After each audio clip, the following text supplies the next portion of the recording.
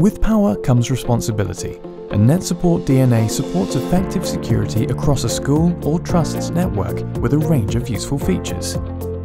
Endpoint security prevents or limits either the use of memory sticks by students or controls which USB devices can be used and by whom.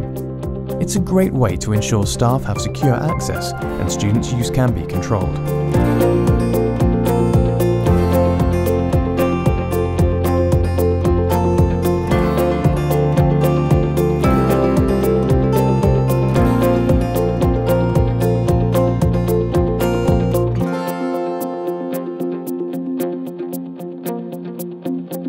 Whitelisting helps control both the applications students can use and at what times.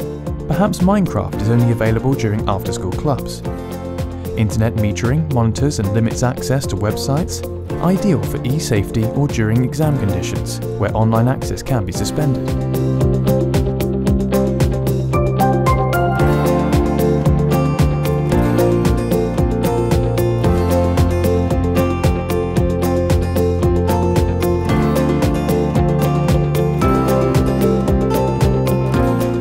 NetSupport DNA even manages the enforcement of acceptable use policies.